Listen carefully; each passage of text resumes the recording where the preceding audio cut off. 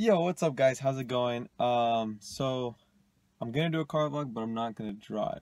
I realized not just that my car is really loud, like in terms of road noise and stuff like that. Um, but uh, I really have nowhere to go, so as uh, as real as that sounds, uh, it is what it is. But um, no, today's been a productive day. I um went to the gym over in Seal Beach, which was really cool. I took the scenic route around Ocean Boulevard, which was nice. And um, got back, got some work done for um, other stuff I had to take care of. And uh, yeah, so car vlog, as you can see from the title, it's gonna be my thoughts on the E63. Um, let me see if I can do some kind of intro. Uh, so yeah, hit it.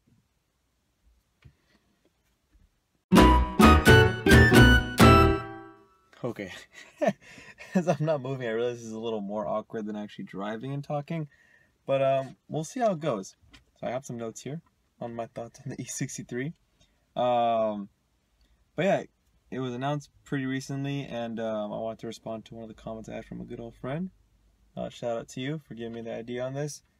Um, but yeah, let's get to it. So the new E63 has now has a four liter V8 from the um, AMG GT C63 and the S63 AMG, which is it's a great engine.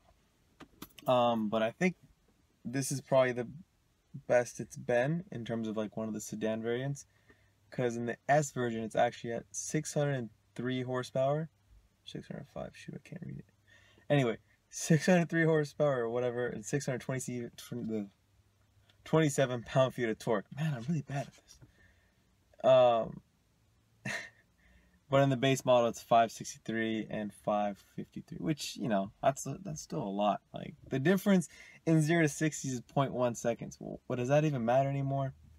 Um, yeah, 3.4 versus 3.3 seconds. Like, come on, that's still fast. After that, 0.1 seconds isn't gonna get you anywhere, and that's like within the you know variation of launches. Um, but what's cool, like I was reading up a little bit on it, is the cylinder deactivation. It kind of went into a little more detail. Um, you know, Corvettes have it. A lot of big V8s have it these days. Um, but here they talk about which cylinders were off, which I thought was pretty cool. They shut down cylinders 2, 3, 5, and 8. Um, you know, they usually number the cylinders. You can, I'll probably put a little image on how companies number their cylinders on a V8. And um, I just thought it's cool how it's not necessarily the, like, actually don't look into it much, so I don't know what to say about it. Anyways, Moving on. uh, something else is the fact that it's now all-wheel drive. So you're seeing a lot of the companies are now moving to this as their uh, drivetrain setup. Uh, just because now engines are getting so powerful and rear-wheel drive isn't enough to put the power down. Not enough grip to the rear wheels alone, so they have to distribute to all four wheels.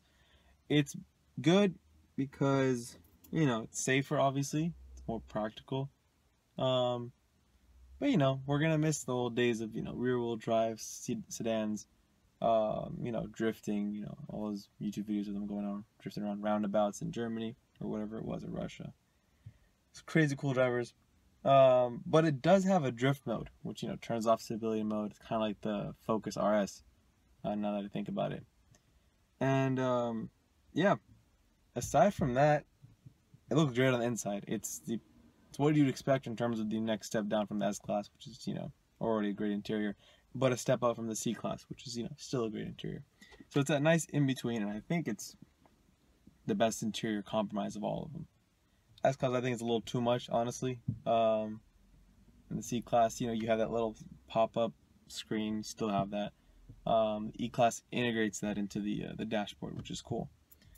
Um, aside from that, it's wow. I don't know. I don't know what else. I need to start planning these better.